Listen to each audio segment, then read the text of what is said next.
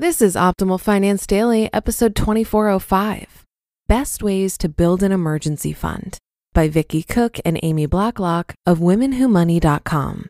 And I'm your host and personal finance enthusiast, Diania Merriam.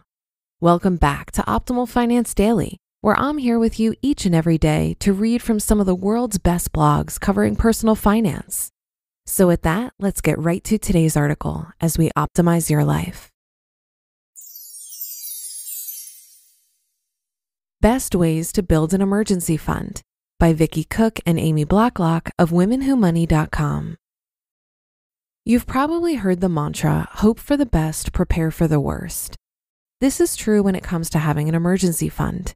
As much as we can hope for the best, we're going to face emergencies from time to time.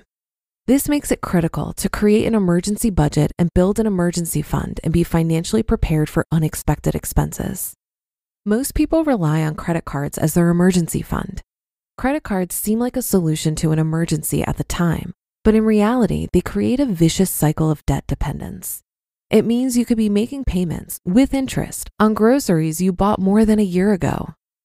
In order to build and grow an emergency fund, you have to change some financial habits. The rewards of these changes far outweigh any risks. Why is an emergency fund important? Having an emergency fund gives you a safety net and puts you on the right track to financial stability and building wealth. It could potentially save you from bankruptcy or other financial disasters if you suddenly lost your job. This fund is money set aside, so life's unexpected events don't have drastic consequences on your finances. It's a much better alternative than taking on more debt or facing penalties for withdrawing too early from long term investments. Why do people not have an emergency fund? Roughly three quarters of Americans are living paycheck to paycheck with little to no emergency savings. That's well over half of us who would face major stress and uncertainty about what to do if we had a true emergency. People have become used to their checking accounts getting low and stretching out those last few days until the next check comes in. When there's extra, it's spent as a reward for hard work instead of being saved in an emergency fund. Maybe they want to change and start saving more, but are not sure where to start. How to build an emergency fund. First, we have to break the paycheck to paycheck cycle and just start saving. Don't be discouraged if this is a small amount at first. Just starting, no matter the dollar amount, is moving in the right direction. Over time, it will transform your finances. Start with just $25 a month and increase it as you can. With time, you'll see this start to accumulate, and you'll be even more motivated to save at a faster rate. The key is consistently saving a set amount on a regular basis. If you're not sure where to find the $25 each month, create a budget. A budget will tell you where you can cut expenses and save more. Then schedule a date to deposit the savings, or better yet, set up an automatic reoccurring deposit. How much should I save in an emergency fund?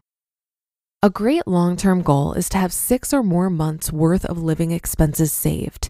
This would give you some breathing room and time to figure out a plan if you or your significant other were to lose an income. A great starting place for an emergency fund is $1,000. This would be enough to help with an urgent repair needed for your home or car. It would also help if you had a medical emergency and needed funds for the deductible. The size of your emergency fund will also depend on your personal situation. Someone who's single with a smaller budget and a strong support system may not need as much as someone with multiple dependents in the event of a financial crisis. Where to build an emergency fund? The most common place to house an emergency fund is a savings account, creating a liquid asset kept safe in an FDIC insured account. A regular savings account provides low risk and easy access when an emergency happens. It also earns a little interest and is easy to set up with automation. An online bank like CIT typically offers higher interest rates than brick and mortar locations. A money market account is another option similar to having a combined checking and savings account with a limited amount of transactions each month. These usually require a minimum deposit but offer a little more interest than a regular savings account. And a certificate of deposit or CD is a promissory note issued by a bank where you essentially promise to leave the money with the bank for a certain time frame and the bank offers a fixed interest rate in return. The drawback is that you can face penalties for early withdrawal. Since the money in a CD is not as easily accessible and comes with more terms of service, this is an account you may want to use for a smaller sum, such as three months' worth of living expenses. How to grow an emergency fund. You grow an emergency fund by pretending it doesn't exist. Truly, you want to try and forget about it, out of sight, out of mind, until a time when you need it. Some people deplete their emergency funds for things that are not truly an emergency, such as taking a leisure trip or buying a new device when the old one is working fine. Instead, you have to resist the temptation to use this money unless there's a true emergency. As your savings begin to grow, it becomes exciting to set new goals. It can turn into a competition with yourself to see how much more you can save. You can grow your emergency fund faster by depositing any extra income, such as a bonus at work or money from a side hustle. You'll sleep better at night. An emergency fund serves as your own personal finance assistant. Having these funds will help you rest better, knowing you're prepared for life's unexpected expenses. Once you have your emergency fund established and make consistently saving a habit, it will grow to the point that eventually you'll want to explore options for investing. Having your own money to handle emergencies is part of being financially healthy. Good financial health leads you on the path to wealth and a secure future. You just listened to the post titled Best Ways to Build an Emergency Fund by Vicki Cook and Amy Blacklock of WomenWhoMoney.com. Having cash on hand has so many more benefits than just helping you navigate the unexpected things life throws at you. I like to refer to my cash position as my emergency slash opportunity fund because I recognize that life is throwing me opportunities just as much as it's throwing obstacles at me. And having that cash on hand has allowed me to make pivots painlessly.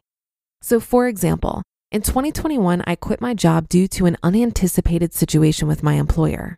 I didn't plan for it, but it was an opportunity that presented itself, and I was able to do it because I had and still have a long cash runway. I've heard some personal finance bloggers make the case for not having as much cash on hand because it could be working harder for you if you invested it. And if you really come into a situation where you need cash, you could just sell some investments. The reason why I don't do this is because I think it would cause me to watch my investments much more and stress over volatility. It would be unfortunate to have to sell stocks during a downturn just because I didn't have cash on hand. Also, I look at my different piles of money as all having different jobs. My cash has the job of liquidity and easy access, and my investments have the job of growth. I don't care that my cash isn't growing because that's not its job. And as my overall net worth grows, my cash as a percentage of my net worth gets smaller and smaller over time. So it continues to matter less and less that my cash isn't growing. But I think that does it for today. I hope you're having a great day. Thanks for being here, and I'll see you on tomorrow's episode where your optimal life awaits.